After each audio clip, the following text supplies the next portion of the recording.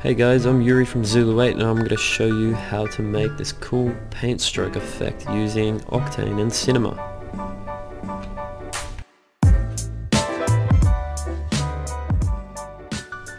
Start off by um, getting an object, like whatever object you want your um, paint stroke to project on.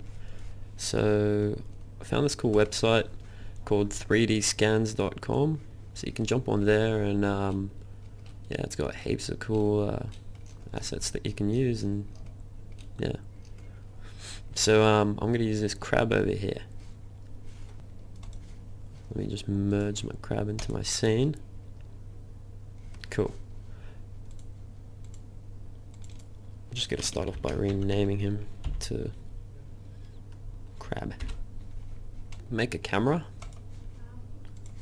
And I'm gonna put my settings to 1920 by 1920 just to get a square frame.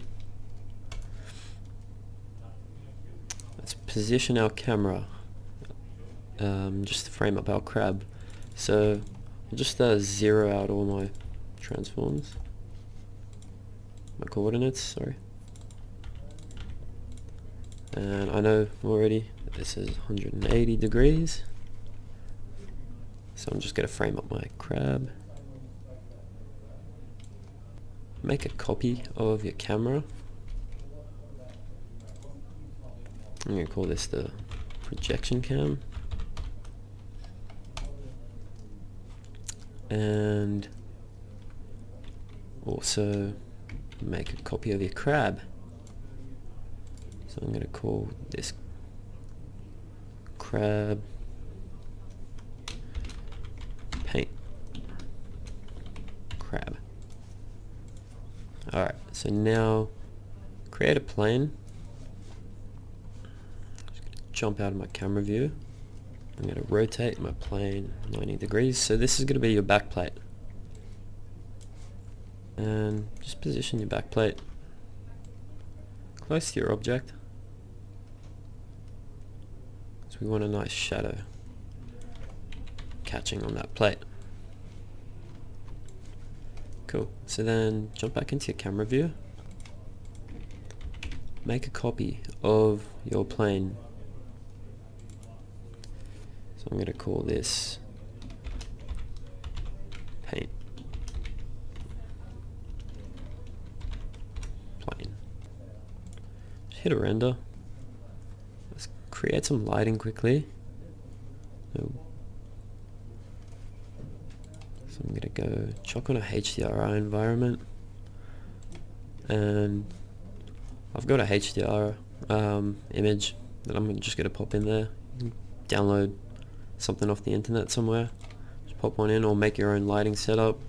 It's pretty easy just uh, just to brighten it up a little bit. Going to turn the power up a little bit.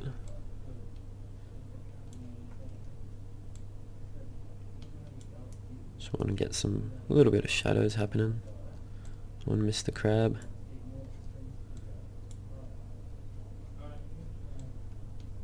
And I'm just playing around with the rotation of the HDR. Yeah, that looks fine to me for now. So now let's uh, make a few textures. So go into materials and create a glossy texture. Um, I'm going to make two copies of that, so there's three. So I'll call the first one crab. Call the second one paint. And then the third one will be for our backplate. So now we can just drop the backplate on. Um, doesn't have to be glossy, we can change the backplate to a diffuse I guess. Let's drop the paint onto the paint crab and then also drop the paint onto the paint plane. So now let's go into our normal crab. We'll change that to all black. Okay. And let's drop the crab, the black crab, onto plain crab that we have happening there. Now we'll go into our paint texture. Go into the diffuse channel and go into Cinema 4D Octane and then choose a image texture. Okay, so go into that image texture um, and I've downloaded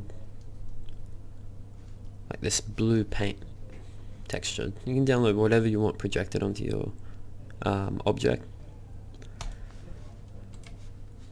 Cool. So now go into your opacity. Do the same thing cinema 4d octane image texture. Open that up. And this is where you can import like a png an image with some sort of transparency to it. So I've got this uh, paintbrush stroke which I downloaded off the net as well. You can do whatever you want you know? Use whatever image you want just make sure you have like the rights for it so I'm going to use that. And then change that to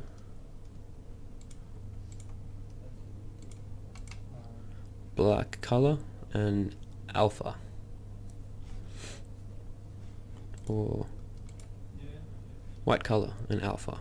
Go into those texture nodes up here.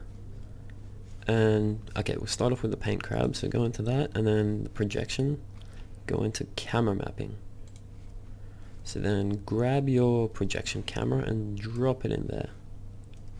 Then do the same for the other paint plane. Grab your projection camera. Oops, sorry. Change that to camera mapping. Grab your projection cam. Drop it into there.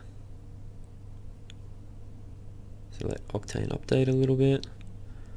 Okay, so nothing's showing up on your plane because we're going to move the paint plane towards the camera or the normal plane a little bit backwards.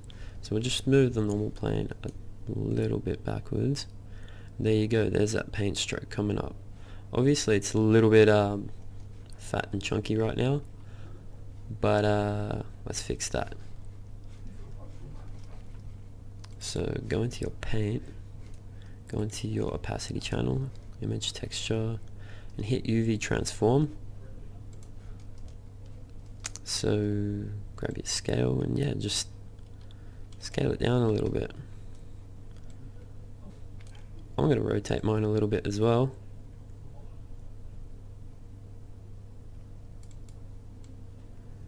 I'm going to go into my diffuse as well.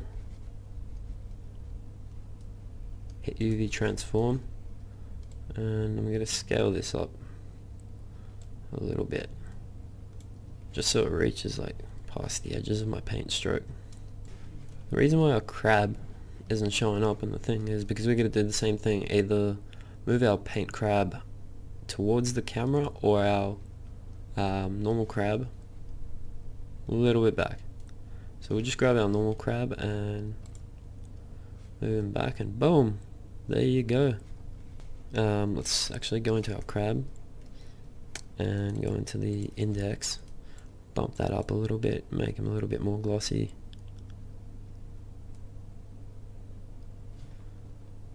That looks pretty cool to me, man. I'll grab this paint as well. Bring up the index as well. Make it wet and painty looking. Select your camera and uh, go into Cinema 4D Octane tags and give it an Octane camera tag. Also Yep, enable your camera imager and change the gamma to 2.2 and change that to linear as well. Give that a render. And there you go.